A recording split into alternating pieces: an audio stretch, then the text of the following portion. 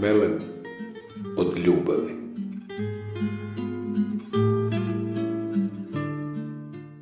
U purpurnoj izmaglici sjećanja stojiš uporna i zamišljena ljubavi, gledajući nas nježnim pogledom, kako usnuli tiho dršćemo od bola, pod pokrivačem od ugašenih zvijezda.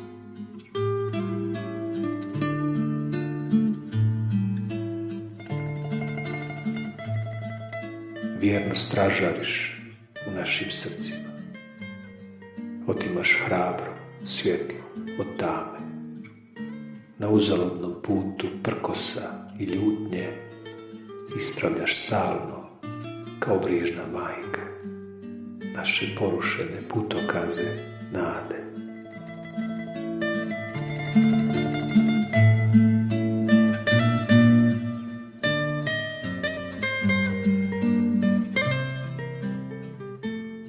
Često te zaboravljamo u ludim noćima, olako opijeni mirisima laži i prevare, dok tonemo neizbježno u krilo zaborava, ti tako krasna i zaigrana kao mladost, posipaš nas mirisnim laticama ruža.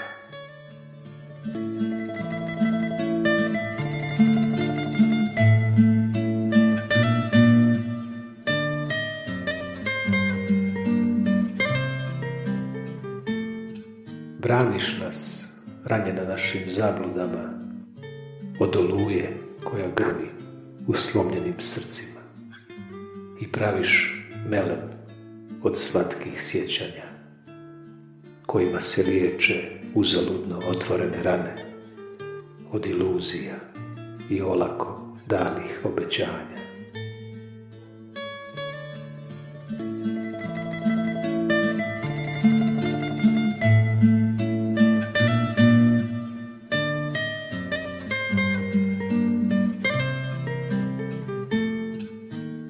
Nema pobjednika u ovoj igri jedan na jedan u kojoj ti sudiš pravednošću sveca i dijeliš se u bolu na dva nesretna dijela čekajući strpljivo kao vjerna Penelopa da podijeljena duša opet postane cijela.